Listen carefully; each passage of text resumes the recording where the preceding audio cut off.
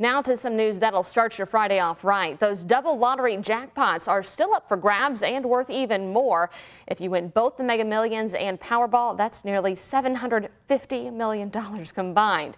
Julia Rose met up with some of you hoping to cash in. Yeah, that's right, Brooke. A lot of excitement around both jackpot lottery games. The Mega Millions and the Powerball are both over $300 million each, and we could see a winner after this weekend's drawings. For the first time ever, both Kentucky Lottery jackpot games are well over $300 million.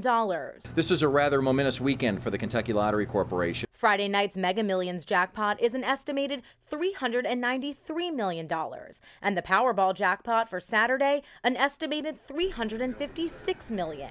This is the 18th drawing for the Powerball since it was last hit in June, and the 29th drawing for the Mega Millions since it was last hit at the end of April. It's taken us a little while to get here, but both jackpots look really, really great. Chip Polston with the Kentucky Lottery says these big numbers have people lined up to buy tickets, although the chances of winning are astronomically long. Powerball odds are 1 in 292 million. Mega Millions odds are 1 in 258 million. So keep that in mind when you're buying your tickets. Play responsibly. It only takes one to win. We stopped by a gas station in downtown Louisville where it seemed almost everyone wanted to try their hand at the big jackpot. And here's what they say they'd buy with the winning. For my grandkids, anything they want. What would I buy? I would have my toes in the sand and retire early.